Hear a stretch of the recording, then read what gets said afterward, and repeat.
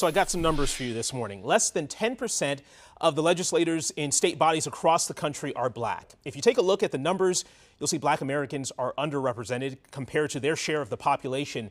And that includes right here in Oklahoma. So joining me now is House District 99 Representative Ajay Pittman, one of eight black state legislators here in Oklahoma. Representative Pittman, good morning to you. Good morning, Jason. How are you?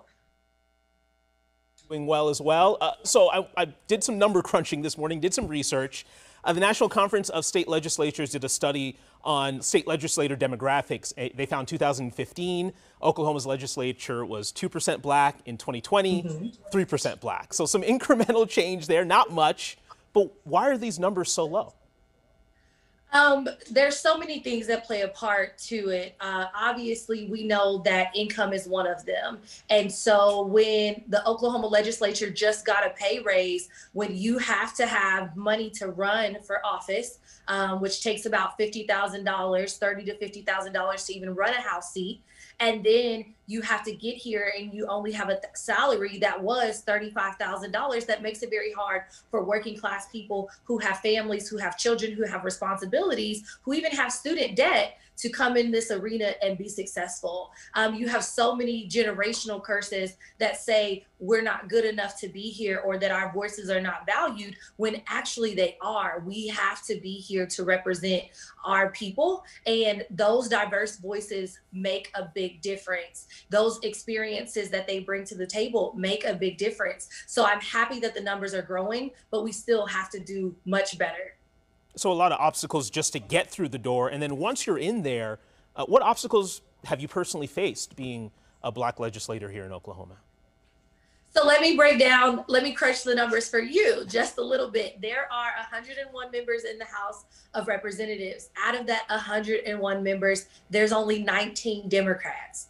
Out of that 19 Dem- out of those 19 Democrats, about 5 of us are African Americans. And out of those African Americans, I am one of the youngest. So when you look at those numbers, you know you're going to face not only um, not only face obstacles with your colleagues and your counterparts from around the state and them understanding uh, your culture, your history, because I'm African American and Native American, uh, but you also have to allow them to understand your district um, you have to be able to convey in a way that says this is also important for my area as well. You're also going to face obstacles with people that look like you. Um, in our community, we understand that you're supposed to respect your elders. So when you come in and you're 20 years younger than your counterparts, they tend to want you to stay in your place or they don't want to hear your views as much. And so you're not only fighting obstacles from a people across the aisle or people that may not look like you,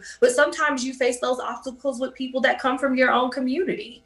And so it's definitely been very different. Um, I'm excited to be here. I have those good relationships of people that take care of me. But my first legislative session, a member quoted Martin Luther King to me against one of my bills.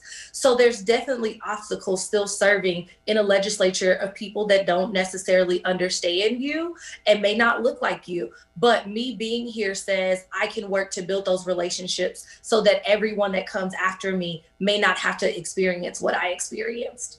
Man, it has to take a lot of perseverance to to get through that. I know it has to be very, very frustrating. I, I, I, guess the question here moving forward is how do we get uh, more black people, and not just black people, pe people of color, in terms of Native Americans, in terms of uh, Latino people, how do we get them into local politics here in Oklahoma? Is, is money the biggest obstacle?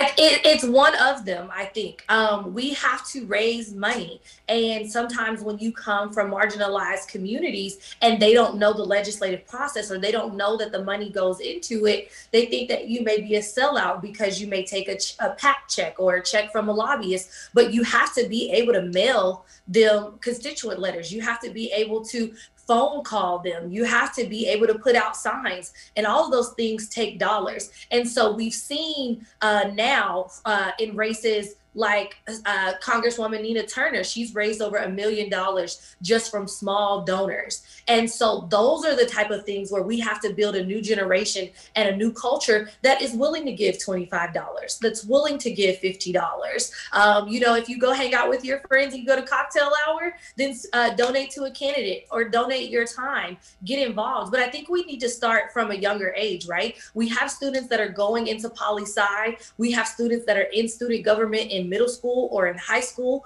or in college. We got to encourage our babies that they can be here too. And they also have to see us be here, just like they see you on the news or they may see me in the legislature. That gives them hope, that gives them power, that gives them um, perseverance because they know someone else is there but we also have to reach back and go get them. I, I want young people to come be able to shadow us when it's safe and be able to see what we do. I, oftentimes we tell people, hey, you can be anything that you want to be, but we don't always give them the tools to do that. And they don't always see what a day in my life looks like so they know what they face when they get here.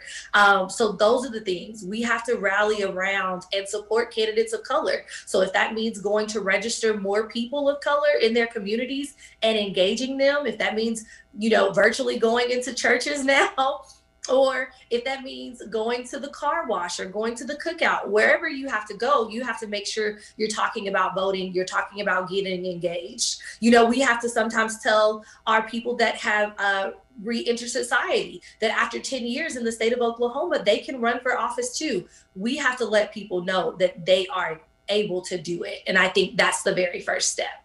Yeah, representation absolutely matters. I say it all the time, and I can't say it enough here. Before we let you go, only got a couple of couple of seconds left here. I do want to ask you about what you're working on here this legislative session. What are you focused on?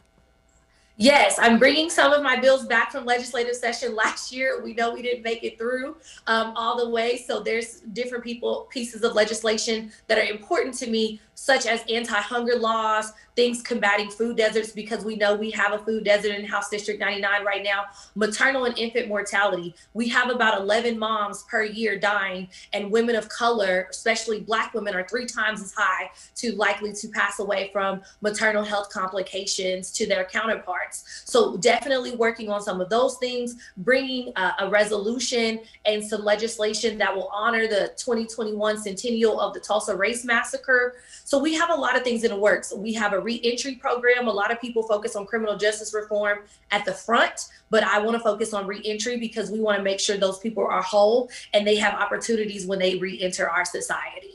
All right, obviously a lot going on. Representative Ajay Pittman, feel free to come back anytime and keep us updated on all of it. Thank you so much for joining us. We appreciate the conversation today. Thank you so much for your work. I appreciate you. Absolutely. Now